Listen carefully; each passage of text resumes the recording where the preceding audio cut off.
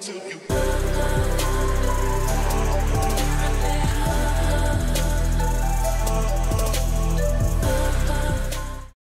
fellas? It's your boy Johnny. Fall has officially started, and North America is kind of teasing us with colder mornings and earlier sunsets. Ugh, I don't know about you guys, but it actually makes me pretty sad, especially when the sun sets at 5 p.m. But it's all good because it's time to step up that fashion game. And soon, the daytime highs are gonna be in your 50s and 60s, so you're gonna wanna prepare for that with your layers. So today, we are going to dive into the top fall and winter jackets let's get right into it. First jacket up is a classic piece that has been a bit overdone over the past few years, but for good reason because it never goes out of trend, and that is the bomber jacket. Let's face it, most of us didn't really know about bomber jackets until the Fear of God's second and third collections, including me. But when our boy Jerry did come out with these pieces, it really changed the fashion game. It brought out a classic military piece to a wider audience, and I'm glad it happened. Whether you're a street fashion enthusiast or your casual dapper gentleman, a bomber jacket is a staple. Now, fitted or a bit oversized is the question of the day. I've worn both. One time when I went through my I need validation for my tiny physique phase, and you're gonna wanna trust me on this, don't go with the fitted one. Sure, you can go a bit more loose, but don't go tight, man. I don't know, whenever I hear the word tight, I just think about Tuco and Breaking Bad. Tight,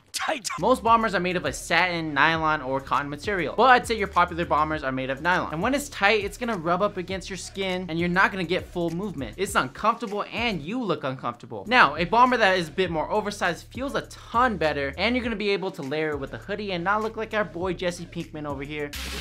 And so I'd say oversized is the way to go. You can't go wrong with it, and if I'm gonna recommend a colorway, I definitely recommend the classic olive colorway, but black and navy are cool too. Next jacket we got is definitely for our tech boys and our fitness enthusiasts, or if you live in an area with a ton of precipitation. Parkas and windbreakers. Now this jacket probably isn't gonna keep you too warm in the winter, unless you're gonna be rolling with the Canada Goose type of parkas, and we all know the price on those. I don't live in the type of climate where I need one of those, so I'm really talking about the lightweight pieces, and honestly, the best place to go if you want quality for the price is Uniqlo. This one I got for a great price compared to your Gore-Tex counterparts and your Nike ACG, and you're gonna get a similar look. So if you're trying to pull off the tech wear aesthetic, materials matter a ton, and this parka definitely fits that aesthetic. It repels water, and it allows you to cinch the waist for a different type of look. If I rock this parka, I'm definitely going to stick to contrast color blocking of only white or black pieces. Or I'm gonna go the full tech wear aesthetic with cargo pants, a tactical belt, tactical crossbody bags, and most likely an acronym collaboration sneaker, or a pair of white vans. Now this windbreaker also comes from Uniqlo. My old roommate Christian gave it to me when we were filming a video for him. Shout out to those that saw that video. I wear this all the time whenever I'm running. It's thin, light, and easy to pack, and it is great to pull off the activewear aesthetic and for fitness people as well. Now the next jacket I'm gonna recommend are denim jackets. A classic staple item as well for any aesthetic. Now me personally, I like to keep the wash very light, nothing too dark, because I've never really been into raw denim, and the same applies to me for denim jackets. Now black is cool as well, but the light wash denim jacket is definitely more pleasing to the eye in my opinion, but that is up to you. They come in all types of styles, embroidered ones, Sherpa lining ones, ones that come with the hoodie attached to it, but either way, the brand does not matter. You guys aren't ever gonna see branding from a denim jacket or pretty much any jacket in general unless you look inside. Now, I got this from Fashion Nova. I know, but this jacket was cheap, I was broke at the time, and I'm honestly genuinely surprised by the quality of this. It has a good weight to it, but I don't know how long it's gonna last in the long term. So if you're looking for denim jackets for cheap, stick with fast fashion, man. Go to Forever 21 or H&M if they don't go out of business, or wait for a sale online like I did with Fashion Nova. Pretty sure I got this for like $20 or something like that. But if you want a brand that is known for pieces that last long term and has good quality to it, stick with Levi's. Every JCPenney stores has a Levi's. I'm probably gonna pick up a different watch here pretty soon from there, because you can actually get some pretty good deals on those at JCPenney. Next up, I'm going to say it. This isn't top tier on my list of jackets. To me, it's a piece that everyone needs or probably will get as their first jacket. That is the classic leather jacket. So the reason why it's not top tier on my list is because everyone has it. Think about it. When someone gives someone else a makeover, they're gonna gravitate towards that badass look. I get it. It actually does look really good. But to me, and this is just my opinion, there is only one leather jacket design that I really like. And that is the lapel leather jacket that I have over here, which everyone has, including our boy Negan. I see it all the time on social media. Pickup artists give other people makeovers, and what do they get? They get an all black outfit,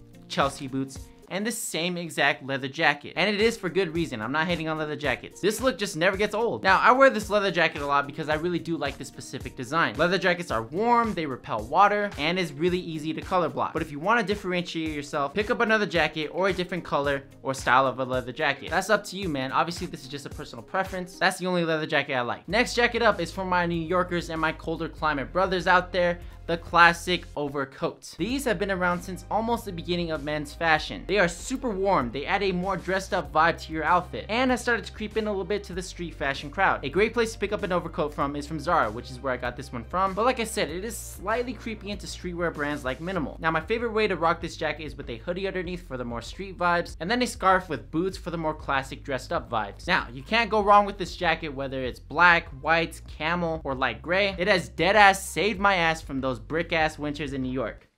So the last jacket has been around for ages as well. We've all seen it in our high school days, varsity jackets. Now back in high school, it was definitely cool, but me personally, I would not wear my high school Letterman jacket after I graduated high school. However, other brands have started to design their own and it's kind of trending right now. Supreme has made their own, but it's really not for me. So the varsity jackets I typically roll with are the simple design, minimalistic ones. The most well-known design varsity jacket is of course the Saint Laurent Teddy jacket. This came out years ago and has been seen on celebrities dating back all the way to 2013. If you're gonna cop a varsity jacket, I'm definitely going to suggest copying one that looks like the Saint Laurent Teddy jacket because holy shit, that price. So alternatives are the way to go. To me, the branding doesn't matter as well. If you find a nice alternative, definitely cop. The jacket itself is already a statement piece, so just let it shine. Now, I picked this one up from Fashion Nova as well. It was only $20, I had to. But let me tell you, quality is trash. But how can I resist for only $20?